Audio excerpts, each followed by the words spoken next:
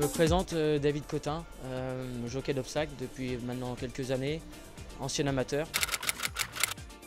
Bah, pour définir les courses d'obstacles, je dirais euh, que c'est beaucoup d'adrénaline, euh, il y a du risque, il faut aimer ça, il faut aimer la, la compétition. L'amateurisme m'a beaucoup apporté, j'ai pu monter pour de, de grandes casaques, pour de grands entraîneurs, que ce soit de plat ou d'obstacle, et ça m'a surtout permis de, lancer ma carrière de jockey. Bah, je trouve que ce championnat est, très judicieux. Euh, voilà, les courses en ce moment, elles, elles sont un peu euh, dans le creux de la vague.